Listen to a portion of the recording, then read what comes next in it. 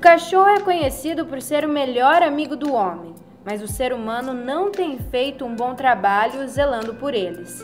Tentando lutar contra essa realidade, o Conselho e a Subsecretaria de Bem-Estar Animal preparou um dia de música, palestras e doações que foi transmitido ao vivo nas redes sociais para conscientizar a população contra o abandono e maus tratos. Felizmente a gente sabe que nesse mês as pessoas preocupadas, preocupadas entre aspas, assim, querendo ah, festejar, querendo viajar, querendo voltar para esse lado mesmo do lazer, muitas vezes acabam esquecendo os animais e aí os animais acabam indo para a rua.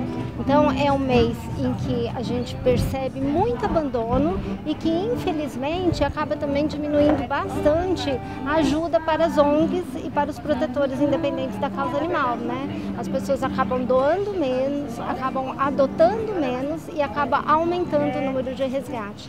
Então essa conscientização e essa educação nesse mês é muito importante. Claro que não só nesse mês, mas sempre, sempre é importante educar e conscientizar. Mas esse mês é fundamental. É a segunda edição do Dezembro Verde e nesse ano de pandemia é mais importante do que nunca que a população se conscientize sobre o abandono e os maus tratos. O aumento de animais em situação de rua vem sido sentido principalmente por protetores e ONGs daqui de Campo Grande que estão superlotados. Sempre houve uma, um grande abandono de animais em Campo Grande, mas com a pandemia, infelizmente, triplicou. E infelizmente nós não temos mais local, nem nas nossas casas, nem nos lares temporários. Eu tenho lar temporário que está com 60 animais. Tem lar temporário com 20, com 30. Tem lar temporário só de gato que eu estou com 36 gatos. Histórias de animais que sofrem pelo abandono são contadas todos os dias, mas nem todas têm o final igual ao do Lorde. Segundo os veterinários, ele passou meses sem água e sem comida, o que levou à desnutrição total. Então, os veterinários até achou que ele não fosse sobreviver, muito menos criar um pouco de massa muscular, porque ele não tinha nada. Né? E olha hoje. Quando ele chegou, ele tinha cicatrizes pelo corpo inteiro. Cicatrizes que pareciam de alguém batendo para cortar, de alguém queimando, muitas cicatrizes. Mas o pelo tampou, porque ele não tinha. E tá aqui, ó, lindo, um lorde.